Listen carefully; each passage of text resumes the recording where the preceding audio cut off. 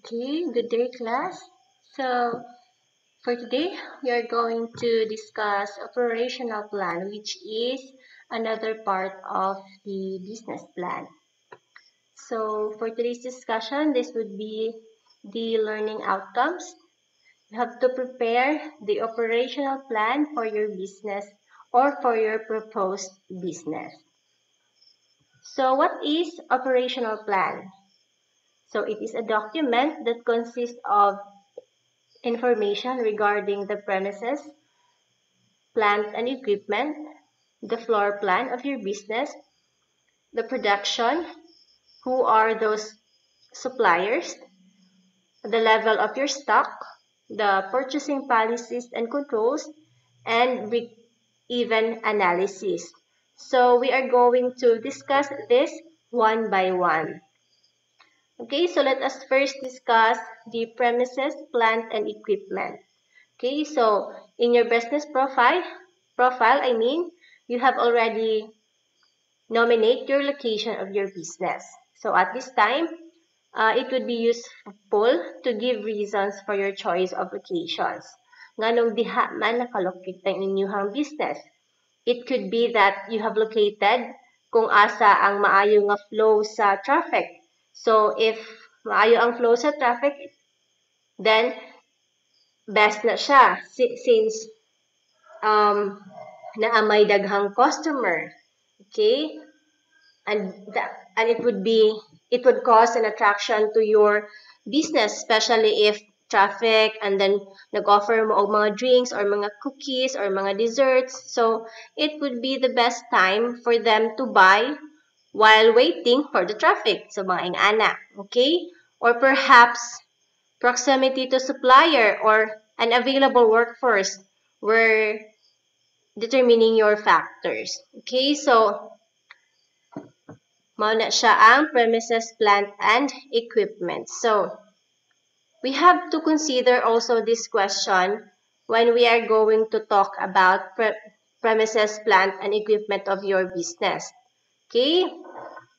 Uh, do you require local government approval for the use of the premises for your type of business? Okay? Nagkailangan ba na siya og kanang approval from the government? Kailangan ba mo mukuha og mga permits in doing the uh, business or in look kung asa nakalocate ang inyong business? Uh, will you need to pay for a fit out of the premises or will you need only to redecorate and can handle it yourself with the help of family and friends. So um, the design of the of the of the of the premise of your or kung asa nakalocate ang inyong business, okay na ba na siya or kailangan ninyo i-redecorate with the help of your friends and family? Or what plant and equipments are you going to need? Will it be new? A second hand ba na siya? Or kailangan ba ninyo mo palit or mo abang lang? Okay? Have you given thought to an efficient workflow when installing fitting and plant equipment? Okay? Muna siya ang mga questions that you need to consider when you are talking about the premise, your, your equipment in your uh, business plan. Okay? So let us proceed to your floor plan. Okay? So it's a great idea to draw a floor plan of the premise and to scale to show the position of all areas in your business okay? You have to pace it out and make sure that the flow is comfortable. And of course um the workflow is kana bitang luag lang siya dili kay dikit-likit and also the employee in the kitchen area or where the manufacturing or the production will happen is not enough space to do the job. Okay? So, it should be that the floor plan will show the workflow. So, the distance from the counter to the dining area, if uh, restaurant na siya. Uh, that would be the distance from the counter to the kitchen or even ang distance sa mga tables and chairs. In that, you'll be able to identify if pila ang capacity or kaya i-accommodate ninyo sa inyong uh, building or sa inyong restaurant if it is a restaurant. Okay? So, very important yun ang floor plan since it will give you an idea or it will give you a, nanabito siya visual, visual na bitaw ang kanang visible, I mean, kana makita na gyud ninyo ang kana bitang workflow sa inyong business. Okay? Asa ipang-locate ang mga equipments, asa ang inyong counter, asa dapit ang inyong kitchen, if asa ang comfort room, so mao na siya ang naasa floor plan. After creating the floor plan, you are going now to um, proceed to the production. So, operational plan would include the production. So in production, it would include how many can you produce. Like for those desserts nga cakes or mga cookies or or again desserts, you have to identify or determine how many pastries product can you produce in a day, a week, or even a month. You have to discuss and identify all this. Okay? So if your business will be manufacturing products, then you will need to include information regarding the production capacity, uh, the output levels, the production method, and the production quality control. Okay? Now, let's proceed to purchasing supply. Okay, so it is a vital part of any business operation is the sourcing and purchasing of goods, products, and services which is which it requires to or in order to operate. So this is especially true uh, in the tourism industry where uh, primarily you are selling other organizations product and services. Okay, so you have to establish a, reliable cost-effective supply. Cost-effective supply chain, chain, I mean, is essential to small business. Okay, so you have to identify the skills that is suitable for the products, then achieving the best possible prices and supply terms will be very beneficial to your business. Okay, so when we say cost-effective chain, uh, this is essential to the business. You are going to identify who will be your suppliers and or who will be your potential supplier dili lang kay mo order mo without even checking the quality of the product. So, dapat na agad mo potential suppliers that would help your business in achieving your goal, in achieving your goal, and at the same time, uh, help your business succeed in the market. Okay?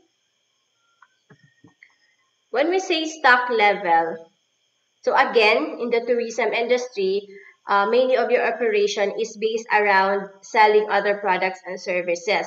Therefore, stock level may not be a major consideration. Uh, that said, if you offer your own travel-related product or services, uh, careful consideration must be given to ensure that you have an adequate stock. Okay? So, the purchasing plan is dependent on the information from the marketing plan and takes into account uh, production schedules and requirements. So remember that marketing plan was based on the sales target. Okay, so you can see the flow on effect from having relevant sales target. You have to think about what suppliers your business will require. You will need to shop around and perhaps find more than one supplier to avoid being let down if you prefer supplier that uh, nga kanang dili bitaw ma-satisfy sa mga requirements from time to time. However, if you use one supplier for a certain type of product, you will receive quantity discounts. Okay, so you have to consider this question. How frequent will you purchase supplies? Okay, kapila man ka mo palit. Mupalit lang baka kay nahurot na ang inyong supply? Okay? How will you set and maintain stock levels? Will you use the just-in-time practice? Okay? If you carry too much stock, do you risk it becoming unusable or obsolete? So those are the things that you need to ask when you are considering the stock level of your business. Okay? Or kanang inyong mga ingredients, like mga items, kana bitaw na expiration date. So very important na siya nga inyo hagyud ma ma-balance or matantiyan ninyo kung ang expiration date ana niya sakto basad sa pagkahurot ana niya or basin og ma-expire lang na siya tapos wala magamit. So daghan kaayo ang inyong stock and then abta na mo sa inyong expiration date sa kana nga item. So very important na, na, na siya. Okay? If we don't want to stop the production, we have to identify the stock level. Until what date that certain ingredients or stocks. Okay? You have to consider this question. So, muna to siya akong giingon this question. Mupalit ba ka ka, inig kahurot na, or naakay allowance, pila ka days, hantod mo abot na sa imo lain na stocks. You have to think and process, you have to think bitaw sa processing order and aniyan, and especially sa delivery time, because it really requires time. So, muhata gid og allotted time for the delivery and for the processing of that certain item. Okay? So, you have to consider good if until kanus a ang available na stocks. Makaabot ba na based sa imuhang target date? Kay if mahutdan gid mo stock, it would cause, cause a lot of problem. Like, na mo order ana nga food, pero gibalibara nimo kay wala kay stock ana nga ingredients. In doing so, it would add a negative impact to your customer. Okay, makaingon sila nga, ah, paluma-luma sila baligya ana, pero di man din sila makahatag na ko ana, 'di ba? So, kailangan din na ninyo i-balance. You have to think regarding on your supply, regarding on your stock. Okay? Purchasing policy and control. Okay? So, it is good to practice to document the purchasing policies of your business. You have to consider what will be the terms of payment for each supplies or for each supplier. Mubayad ba ka dayon? or installment lang siya. Um, please take note that this refers to each suppliers. If nakakailain-lain nga supplier, then you have to identify each term. Okay? How are you, what purchases, uh, what purchasing procedures will you use? Will you have written purchase orders or order ba baka by phone or emails? Will you match this invoice and delivery dockets against invoices? Okay? Um, what controls will you have in place to prevent or detect theft or fraud? Okay? Um, how will you pay your suppliers? It could be cash, uh, bank transfer, or is there any discount for prompt payment? Okay? Like in theft or fraud or any other circumstances, um, how are you going to make sure nga dili mo mailad? Especially nga new pa mo sa, sa business, there would be tendency that the supplier would take advantage. Okay, so very important yun nga naamoy knowledge on certain, certain things, especially this one. Okay, so another question or another thing that you have to consider in regarding to purchasing policies and control is that what commission apply. Okay? Um, magdepende man gud na siya since na may uban na mga supplier nga kana muhatag sila commission depending on the number of item nga imuhang gi-purchase or especially if bulk ang imuhang gipalit, di ba? Muhatag gyud sila mga commission ana. And then how much of your funds do you want to tie up in stock? Okay? Okay. Now, let's discuss break-even analysis. Okay, so a break-even analysis determines at which point sales begin to cover cost. After that, sales revenue becomes profit. There are several methods that can be used in this analysis. The first step is we are going to identify what is fixed cost. Okay, so fixed, fixed cost these are the costs that remain even when there is no business activity. Uh, example, rent, insurance, managers, manager's salary, okay? So, fixed cost means uh, these are the things or these are the costs na dili na siya ma-change regardless if your store would open or not, regardless if your sale is ubos or taas. The costs still remain. Okay? When we say variable costs, those costs that vary directly with business. Uh, example, like a business activity, example, uh, purchases and electricity. Okay? So, these are the costs na na-incur sa pag-produce sa product. Like, uh, material cost, okay, the cost of the ingredients, and other items involved in the production. siya. When we say contribution margin, it is the difference between the variable cost and the sales or the selling price. That's why sa inyong uh, marketing plan, you have to identify or naagyod kay price sa inyong product. Because these are the things that you have to identify to know or to get the break-even analysis. We have to understand the break-even point so that we can determine how many products we are going to sell to cover the cost at a certain time. Okay, so given this example, our tourist attraction has fixed cost of $18,000. The selling price per ticket is $45,000 and the variable costs are 15,000 per unit. So you are going to calculate the break-even point. So ticket selling price is $45 uh, less the variable cost which is 15 and the contribution margin is 30. To work out the break-even point, we have to divide the fixed cost by the contribution margin because their amount contribution to paying out fixed cost. So break-even point is equals to fixed cost uh, divide siya divide by the contribution margin. Okay, so the break the fixed cost is 18,000 and the contribution margin is 30. Okay, so this ama na to gikuha ang 30. 30, nakuha na siya by deducting the 45 and the 15. So, 45 minus 15, that would be 30.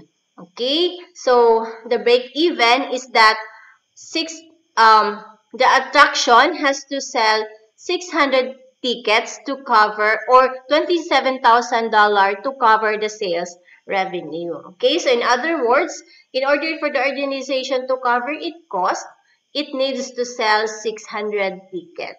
Okay, another example in relation to your business concept or business plan. Like katong mga nagkuha ng mga pastry products. Okay, let's let's give an example for cookies.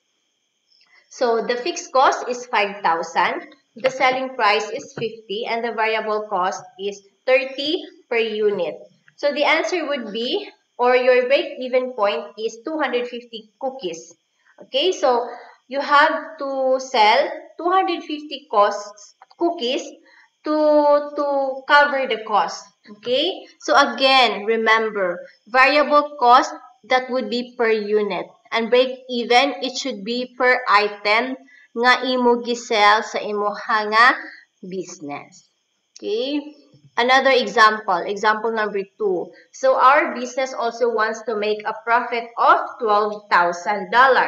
Okay, so basing on the first example, fixed cost profit. So i-add lang siya nimo ang profit like $18,000 plus $12,000 divided by 30. Okay, so the answer would be 1,000 tickets or $45,000 revenue to realize a profit. Okay, so through this, uh, we can find out if we can actually gain or not from the selling price. Remember, our aim is to gain revenue. Nya malugi na noa. So, one of the ways to do it is to less the fixed cost or variable cost and increase the selling price so that we can gain a revenue and at the same time covering the cost incurred in the production. Okay? So, maulan to siya. So to understand more about calculating break-even policy, um, Ms. Hannah uh, uploaded a video regarding the break-even point or the break-even uh, uh, break-even analysis computations. Okay? So, um, okay na to siya nga inyong kitaon. So, if wala gid mo nakasabot sa discussion regarding ato niya, so pwede mo mag-self-study. Okay? Available na to siya sa e-learning or sa Moodle. Okay? Now, for your laboratory activity 5, you're going to prepare an operational plan for your business. Okay, so these are the things that you are going to do. So again, it would be a group activity, but the worksheet is to be submitted individually and also you are going to present this one. I have given you this schedule already in my last uh, pre-recorded discussion on laboratory exercise 3 and 4. Okay, so for the introduction, you have to define what is operational plan, discuss its importance to the development of the business plan, and briefly discuss the elements of the operational plan and the operational planning process. And then copy the objective. And then for the methodology, discuss the actions that your group has done to complete the laboratory exercise. Then this would be the result. Okay? So kani pare-parehal gud mag-answer ani since group mates man mo. Okay? So present here the result of your activity. Uh, the the premise, plant, and equipment. So you have to describe the premise of your building. Okay, you have to identify the materials and equipment that you are going to put in place. Like, for AB Bakes, kato sila nga group. So, unsa man nga equipment ang inyong ibutang sa inyong building. Okay, kay more on manufacturing man mo sa inyong mga cakes or unsa na inyong mga pastry product, then na may pamutang ang mga oven, mga ingana. And, dili na kay oven na inyong gibutang, you have also to discuss, ana, okay? The next one is floor plan. You are going to draw a floor plan of the premise and to scale or show the position of all work areas, equipment, and others. Okay? Discuss why it is the best layout. Okay? Dili lang kay oh na moy layout. You have to discuss nganong naadiri nga area dapit ang kitchen nganong naadiri dapit area ang counter ana inyuhan na siya i-discuss. And then next is production. So you have to discuss the following. Production capacity the output levels the production methods and then the production quality control. Okay? Na na siya sa ato discussion. And then the next one purchasing and suppliers So you have to answer the following question. What materials will you need to operate the business? Who would supply the identified items? Okay, so it should be in a table form. Okay, so isuwat niyo ito sa tag sa per item yun na siya, ha? Per item yun na siya. And then who will be your possible supplier? And then their contact details of the identified supplier. O na siya. Next is the stock levels. So you have to discuss how many or how would you ensure that, the, that you have the right amount of supply to operate. You have to discuss how often will you purchase the supply. Okay, again, so very important to identify the level of stocks that you are going to purchase or you're going to stock in your business importante na siya to avoid bitaw mga lapses like ma-expired na siya or mahotdan mong stocks and then gi-request na then na din yung order and ang certain nga product and then wala mo ana okay? So ito siya akong gi-discuss kaganiha. And then for pa purchasing policies and controls so in this section you have to consider the following question okay? What will be the terms of payment for each supply supplier? So mao na to ah kuan ba, kanang credit card, uh, installment ba, or through cash ba? What purchasing procedures will you use? Will you have written purchase na by mga purchase order, um, through phone calls ba lang, or na by mga um, mga purchase request, mga mga written uh, written documents to support your purchases, mga ingana. Okay? And then, what controls will you have in place to prevent or detect theft or fraud? So, unsa man yung mga buhaton to to avoid those things nga mahitabo sa inyong business. And then, maghimo ba kamog inventory from time to time, mga ingana, okay? So, how will you pay your suppliers? Through cash ba? Um, through bank transfer ba? Or, or kanang um, check or through check mga ana, okay? And then what currencies will be used for payment? Peso ba, dollar ba, or other currency? And then what commission apply? Okay, so if bulk ang inyong uh, pag-purchase sa product, then there will be a possibility nga ang supplier mohatag na siya og commission. And lastly, how much of your funds do you want to tie up in a stock? Okay? So if you prefer nga kanang mo kuan mo mga stock, then pila man ang inyong ihatag nga allotted nga budget for that. Okay? So take note, it would be better if the information is presented in the table format like this one. So item, unsa nga item, kinsa nga supplier, unsa ilang address, unsa term of payment ninyo, um, the purchasing procedures, the purchasing control nga imong buhatan, and then the method of payment. Okay? And after that, you're going also to discuss the break-even analysis.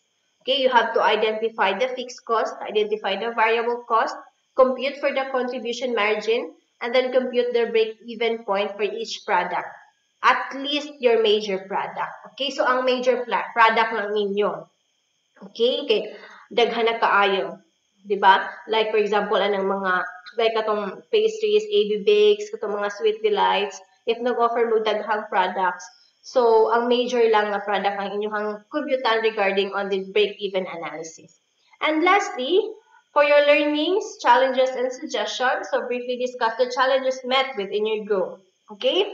I-discuss ninyo ang inyong challenges nga na-meet while conducting the activity. Dili about sa activity. Okay? And also, you have to make suggestion po para ma-improve ang inyong, ma-improve ang problem nga inyong na-identify while conducting the product, or the, the, the activity, I'm sorry. Okay?